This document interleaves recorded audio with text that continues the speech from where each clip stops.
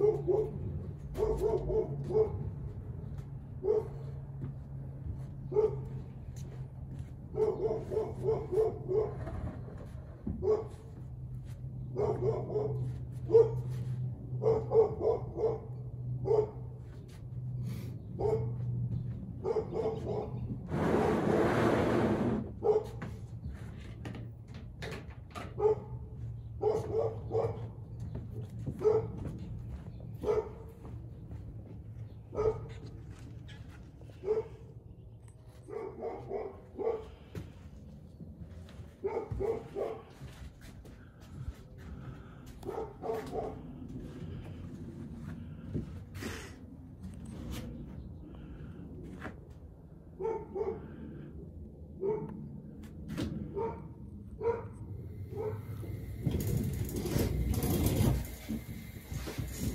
All right, what's up there, guys?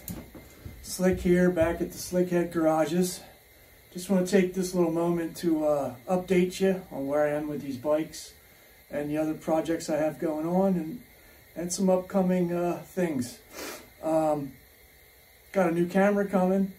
Um, figured out how to do editing pretty good now, so the um, wrenching videos should get a little more in depth be able to do a little more editing, so that'll be cool.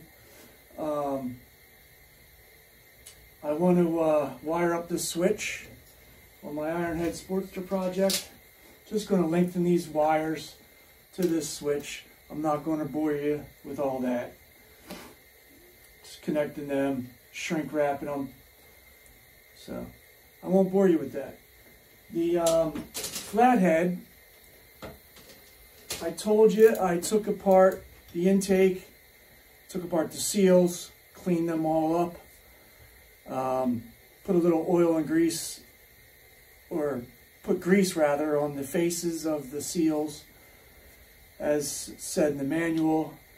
Um, took it out for a ride, and I'm still can't get the Linkert dialed in. It keeps backfiring, it's running lean. So a, I don't know if I still have a leak or not in the intake. I sprayed it down and I didn't hear the motor bog down. The carburetor sucked up some spray and the motor sped up, but that's normal. Um, I finished up threading the air fitting in this uh, intake manifold leak checker.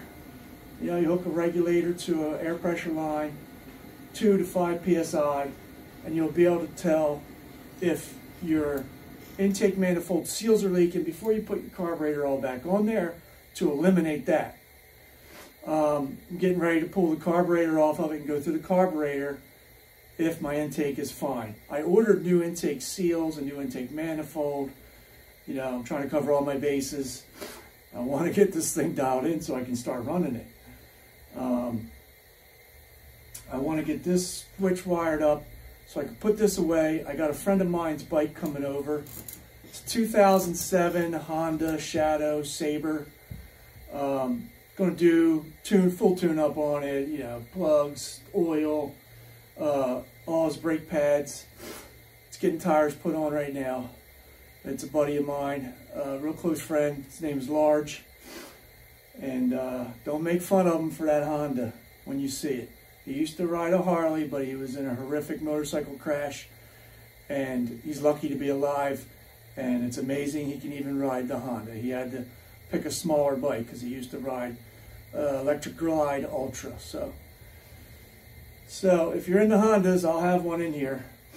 Um, the Roger Bourget chopper, I just got the rings for the pistons, so it's all ready to go. So I'll start putting that back together sometime this week. Um, but that's it. I won't bore you to death with this switch. It's going to be some warm weather out next week. I'll start getting some more videos pumped out, some riding, some kicking videos. Um, got some cool upcoming events I'm going to be going to. Uh, the AMCA uh, swap meet out in Oley, PA, where my bike club is. I'll get a lot of footage at the swap meet of all antique parts. Um, if you guys watch uh, the Easy Company guys on YouTube, I'll try to bump into them at the swap meet, get a little interview with them. Um, I'm going out to Wheels Through Time Museum out in North Carolina in June, so that'll be fun. I'll film something out there. But uh, that's it. I'll get back to you guys. Talk to you later.